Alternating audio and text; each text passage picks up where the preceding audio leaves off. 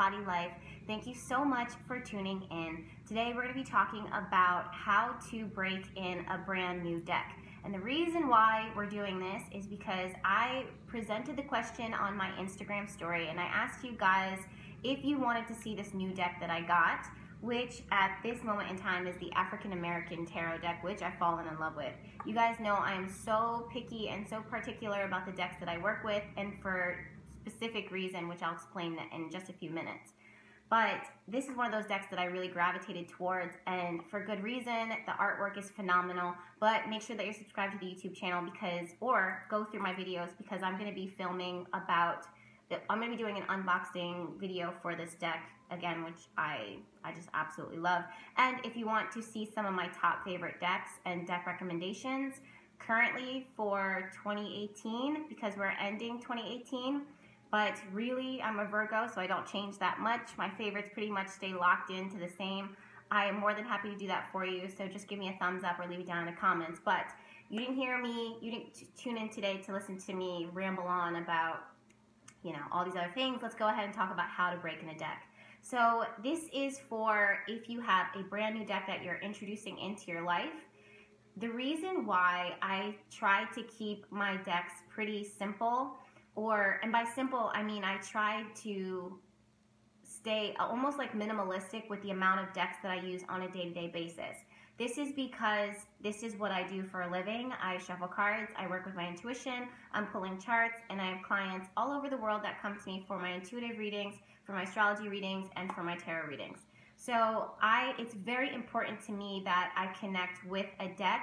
And if you see me inviting in a new deck or working with a new deck, you better believe that there's something really special and unique about this deck. Now, the reason why that is, is because why I'm so particular about this is because what you're doing is you're building a relationship with your tarot deck. Now, I know some people don't see it that way, but also, no offense, I found that those same people probably don't give the best readings. I'm sorry to say that, but that sounds so harsh. But in reality, you know what? I really feel like in order for you to give a really good reading, you should totally connect with the energy of that deck and whatever deck that is or build a relationship with it over time and the only way to do that with with any relationship is by putting the time into that one thing and focusing your energy and focusing your intent Uh, on it so that it can understand you and you can understand it now, the tarot deck that I use, actually it's in my bedroom because I was shuffling with it last night. But the tarot deck that I use all the time is a mini Rider Waite. I take two decks and I sandwich them together and that's the one that I use for myself and also for my clients time and time and time and time and time again. I shuffle multiple times a day, whether I'm shuffling for myself or for my clients, but either way, it's always around me. It's in the bedroom right now because again, I was working with it last night and also this morning.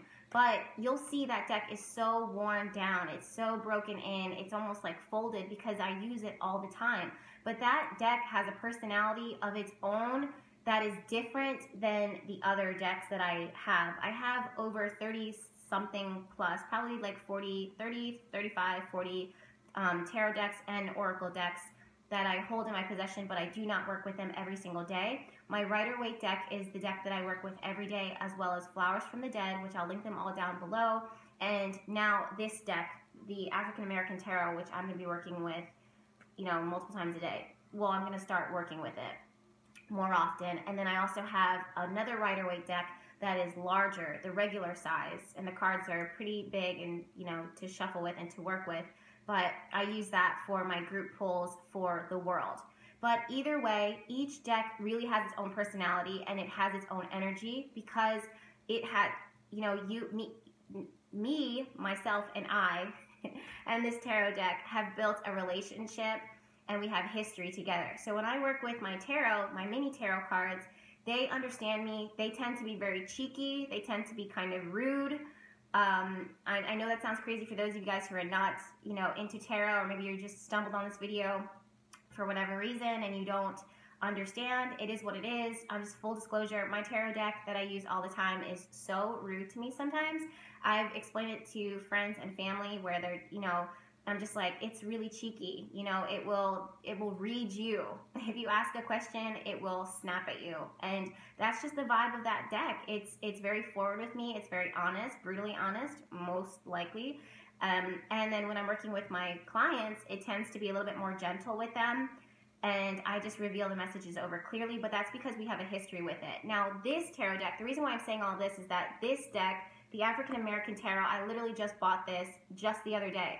So, outside of the fact that energetically I feel like I resonate with it, on an emotional level and a spiritual level, you know, logically, mentally, I am gravitating towards it, but I don't have a strong connection with it yet. It hasn't revealed its personality because it's so brand new.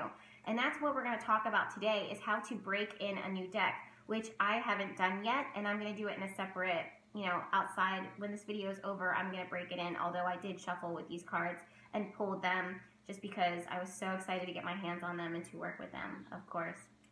But anyways, one of the first things that I recommend when you pick out a deck is to allow yourself to just be grav to gravitate towards the one that you feel called to. Now, for beginners, I always recommend the Rider Waite deck, and that I just feel like every beginner tarot reader should have that in their collection because that's what all of us tarot readers use to to build our knowledge. It's kind of like a language that we all speak. So if you're learning in different forums or if you're learning with different groups or if you're part of my Sacred Circle Tarot School, the links for that are down below, um, then we're all talking the same language, which is the Rider Waite. However, if you find yourself gravitating towards a different tarot deck, for example, when I first started my journey, I gravitated towards the Goddess Tarot. And that was because I was working a lot with Goddess energy. I was working with my own feminine energy, which I was really struggling with at the time. This was years ago, over 17, 18 years ago. I know I look young, but I'm just being honest. That was the card deck that I worked with. It was huge. It was difficult to um, to shuffle with, but I, that's what I broke. You know, that's how I broke myself in, I guess, when it comes to tarot. But um, allow yourself to kind of be gravitated towards the tarot deck that you feel called to and work with it every single day. At the same time, if that's the right, Rider Waite, then good for you. But at the same time, make sure that you are also working with the Rider Waite. That way you're getting a better understanding of that, that card deck as well. This is one of those card decks that just gravitated towards, to, that I naturally gravitated towards. Now the reason why I'm saying this, and I feel like I'm kind of deviating away from the point, the topic of this video, which is how to break in a tarot deck, but I want to cover all of my bases. I'm sorry, I'm a Virgo, I'm very thorough, I'm a perfectionist, and I want you guys to be informed. But um, the reason why I say this is because when you deviate away from the Rider Waite, you know, these inter- the artists that create those tarot decks, they have their own interpretation of that tarot deck, which may, the meaning of it or the energy of that card may, the symbolism of it may change depending on that deck. But the Rider Waite, it stays the same. It creates this strong foundation for you to build upon for any tarot deck that you eventually throughout your life find yourself gravitating towards or picking up and adding to your collection. So that's one thing that I found with this tarot deck, which because I have over 20 plus years with working with the tarot multiple times a day, and this is what it is that I do, me adding on to my collection with this new deck actually helps me to deepen my own practice by listening to the interpretations that others are given um, that others are giving and what others have found because it adds on to what I already know and what I already understand and what I've already experienced by studying the tarot, the, the basic tarot for years.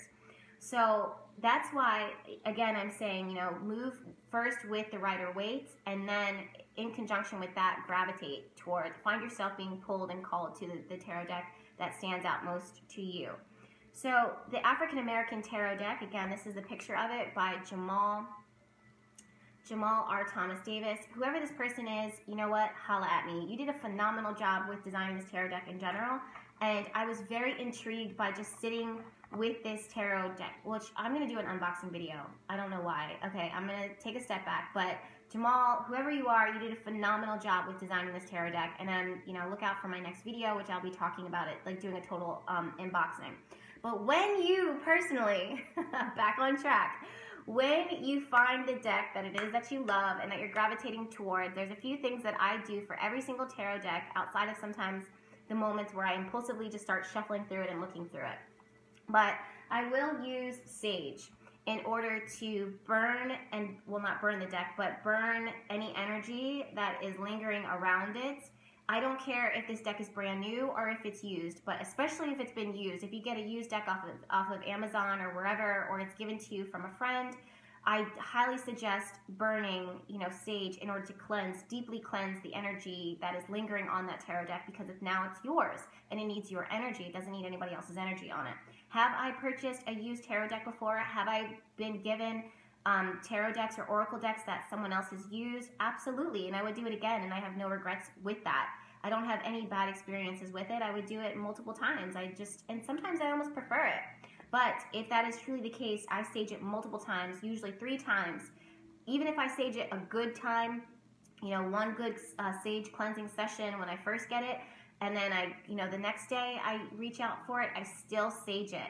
Then the next day I do a sage session three times with that tarot deck, and that's when I find that energetically it does seem to be a little lighter in energy, clear, and like almost hitting the reset button. Now, why do I suggest sage? Well, because in versus Palo Santo or any of the other, um, you know, herbs that you would use in order to cleanse something, including rosemary, because sage has this wonderful way of totally releasing and cleansing and removing all energy, good or bad. It's the way to create a blank slate versus if you use Palo Santo or rosemary, sometimes that energy kind of lingers or it kind of leaves, even the good stuff kind of is still around that tarot deck. And I just feel like you should have a you know a, a, total blank slate with it unless there's some type of emotional connection to it. For example let's say your great grandmother is a tarot reader and she, this was the deck that she used and you still want her energy to kind of linger on that, I would use Palo Santo. I would, I would, and I would just allow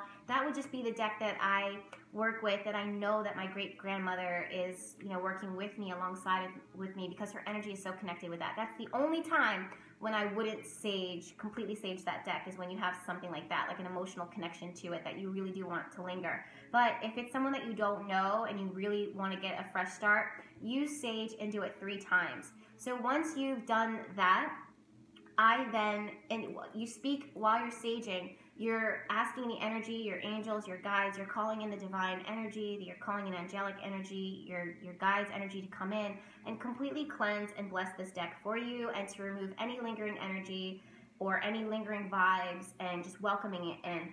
Then the next thing is to take something as simple like incense or Palo Santo, and this is when you bless the deck. So sage is when you're removing the energy, and now we're going to bless the deck.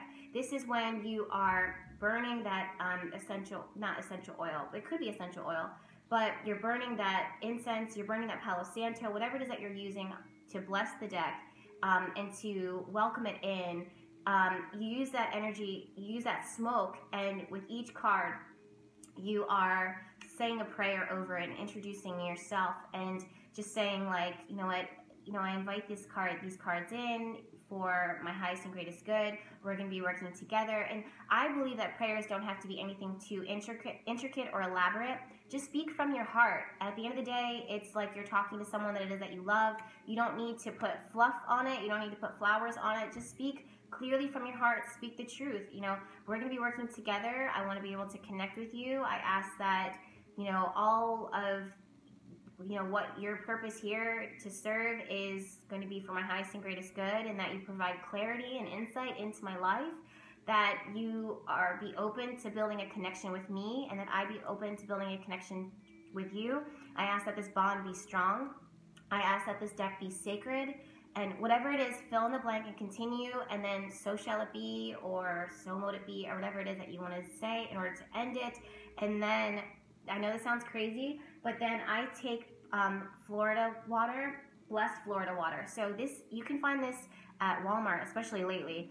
Here in New Orleans, you can find Florida water at CVS and Walgreens. I'm not even kidding. But this is because we use this so often in the spiritual community, and New Orleans is known for its spirituality and for blessing and whatever. But these, when you get these bottles, when you buy this bottle for yourself, make sure that you bless it. I personally will bless it under the light of a full moon. I'll put crystals around it, quartz crystals around it, and that's my charge soak. I do this every full moon. Even if I'm about to run out, there's a full moon, I grab two bottles and I charge both of them. That way I always have this on deck.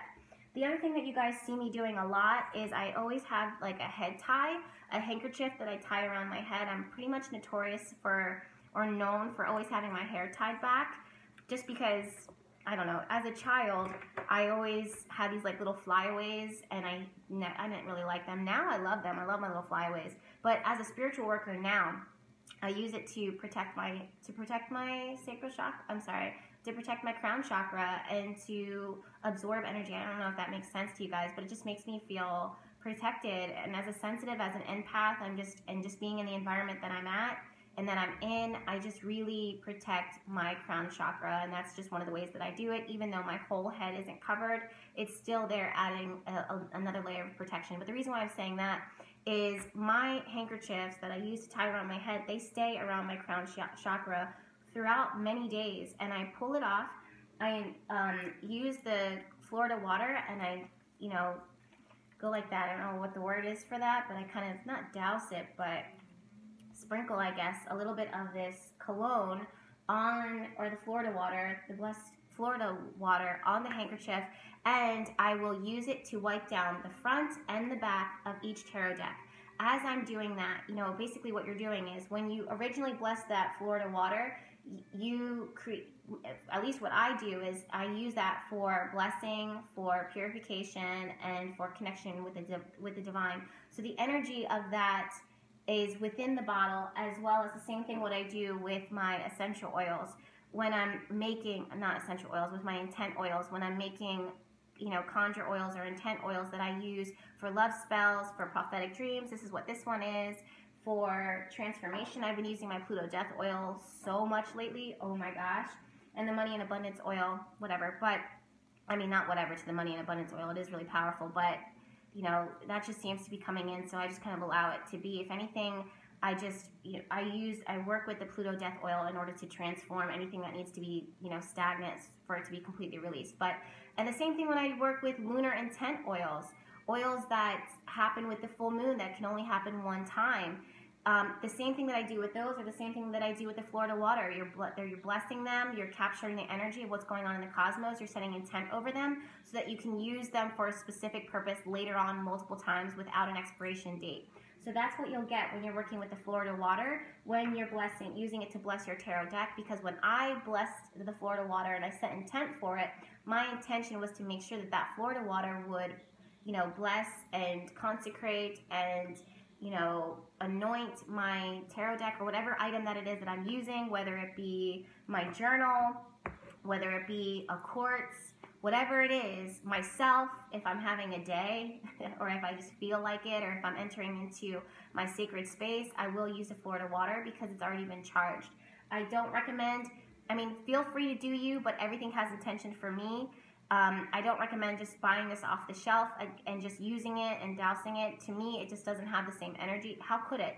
There's no intent connected to it. There's no magic connected to it. There's no lunar energy. There's no essence. There's no specific purpose for it. So at that point, it's just this regular cologne water that you can just splash on yourself for a scent or perfume. It has no symbolism. It has no meaning. It has no significance. So make sure that you bless the Florida water, that you're not just kind of like sprinkling it all over whatever and just be like, oh, it's blessed now. It's not.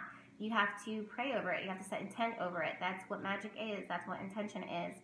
Anything can be sacred if you make it sacred. If you hold it with intent and infuse it with your will, that's when it becomes sacred. Woo! We are going through it today, aren't we? Wow, I'm on fire. Okay, so as you're moving through each deck and you're wiping it down with a handkerchief or a sacred cloth, you choose. Everyone is different. Um, I remember even years ago, you know, when I was studying the tarot, I went to a tarot teacher, or one. She wasn't really a tarot teacher, but she had more experience, extensive knowledge. She was in Florida, and she's probably passed on now. She was very old then, and this was years, years, years ago. So 16 plus, 18 plus. But she told me, she's like, you need a specific cloth in order to, you know, put it out for your tarot deck. And she said, you don't have to get them here. I, she recommended me to a place that had antique cloths and stuff like that. And I went to go look, and she was right. You know, they did, they did have unique, you know, cloths and stuff like that. But, you know, just being a simple Virgo and just, it's all about sentiment, like sentiment to me. I had the handkerchief that I always had on me, even to, to that day. I used that in order to cleanse my my deck, and I still do it to this day, not even realizing that I was following my intuition and that this would be a part of my daily, daily practice, and that was only just the beginning. And again, this was like 16, 18, 19, 20 plus years. I don't remember how long it's been. But anyways, as you're wiping down each deck lightly, um, look at each card and really take time for this. This could be like an hour, an hour and a half, but this is sacred time. This is a special time. This is you connecting with the deck. I feel like it's very rude to come in and just start shuffling and asking questions immediately from a deck because you're asking so much from it when you haven't given anything in return. You're not seeking to understand it. You're not seeking to connect with it. You're just shuffling. Sorry, I just saw this like little fire thing here for a minute, but I think it was my incense. But you're just you know, picking it up and being like, tell me, tell me, tell me. And I just find that being really rude. That's like walking up to a stranger and be like, what's my future? It's like, yo, hi, hello, how are you? I feel like the tarot is still the same way. Also, the tarot is a tool to connect with your divine, to connect to connect with the divine, to connect with intuition, your guides and your angels. And you wouldn't, you know, you know, jump in their face and be like, talk to me, tell me, blah, blah, blah, blah. That's rude. So the same thing is true with the tarot. So just take time to look at each one of the cards while you're wiping them down and maybe taking your journal, which this is my journal here, one of many. I have boxes and boxes. You know those bins, those Tupperware bins that you use to like store Christmas decorations in? I have bins filled with journals from before I even started my tarot journey. So this is my entire life. I started journaling when I was nine or 10. When I could write is when I, or maybe 30, I don't know. But when I was able to write complete sentences and thoughts, I was journaling. But this is my current journal right now, which started in, let's see, July 2018. So this is pretty brand new. I have a lot of things in here, actually. I'm pretty much sure that I have intentions, tarot pulls. See, this one's from August 5th, 2018 at 9.24 p.m. Aww the question I asked. I'm not going to tell you.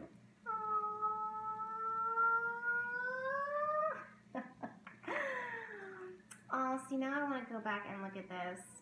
I want to cry. I get so, oh my god, the outcome was page of, I'm not going to share it. Oh, I got to put a bookmark here. That is so special. I'm sorry, guys. See, this is why. Wow. I'm sorry. okay, September 24th, 2018, 10:26 p.m. was a prayer. I did it! Dear God, angels and guides, I did it! I'm in beautiful New Orleans on the night of this full moon. Thank you for helping me to get here. Please, please continue to look after and protect me while I'm down in New Orleans. Let this city be so good to me, and it was. Ah! I'm gonna cry! Oh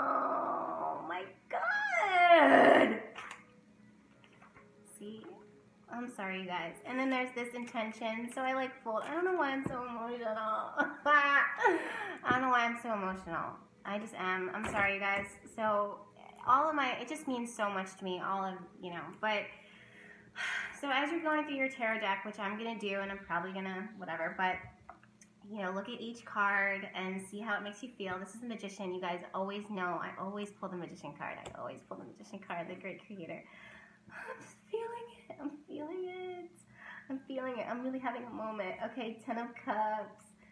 Wow. And I just write down how they make me feel. And if they, you know, if it makes me feel something, obviously it's making me feel something today. But I write down each one of those cards, well, each, each of the cards that make me feel something. This is an intent that I wrote down. So I'm going to put this on my altar, my temporary, my temporary altar for now. Sorry, that was rose quartz just knocked over. But anyways, yeah, write down how they make you feel, if they trigger any feelings or emotions, and you know, whether it inspires you, what does it make you think of? And again, this is why, you know, with the Rider-Waite, you know, it's you know, what is what stands out to you as far as symbols? That's something that I really look at with the Rider-Waite. And again, if you want to dive into that, I have the Sacred Circle Tarot School. The links for that will be down below.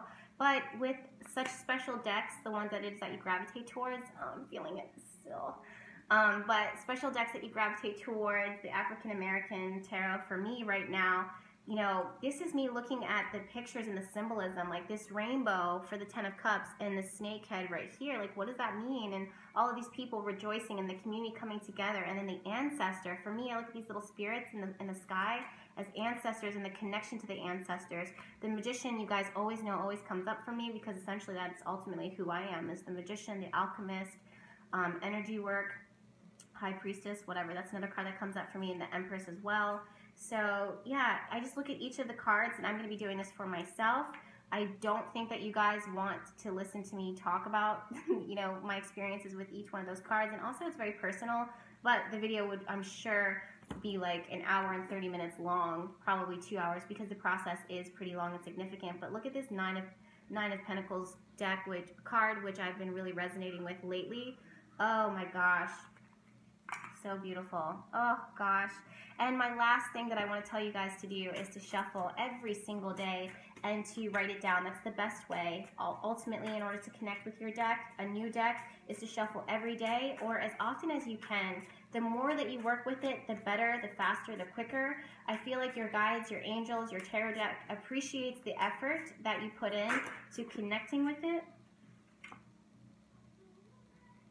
Oh, wow. I've been really thinking about the Five of Cups lately, too. And the Four of Four of Swords. And so so interesting, so interesting. But yeah, shuffle with it every day, and then do your do a daily card pull for yourself. Even if you know the tarot in and out, but especially if it's a new tarot deck that has you know different symbols and different meaning and different interpretations. So oh look the empress i've been pulling this card left and right and i swear to you guys i'm not pregnant i promise i'm not pregnant but i really am in this like empress energy vibe lately obviously but yeah, and then journal and write it down and then go back to it. I love you guys! I love you. Make sure that you're subscribed to the YouTube channel because I'm going to be doing an unboxing video, which obviously this card deck has already been unboxed, but I'm going to be giving my thoughts, my feelings, my initial reactions to it, even though I've already had my initial reactions, but I remember my initial reactions. And um, if there's other videos that you guys need to see that we need to talk about, feel free to leave it down in the comments. Yes, I look at all of my comments. Even though it takes me some time, I do run my shop, my apothecary. And I do do the Sacred Circle Tarot School, which is going to be opening again and open for enrollment and stuff. It's going to be absolutely amazing. Wow, what a life that we live! I'm so sorry to yell, but like, wow, I just feel so much today, all this week, all this week, all this weekend. And uh, yeah. All right. I love you guys. I'll talk to you soon. Bye.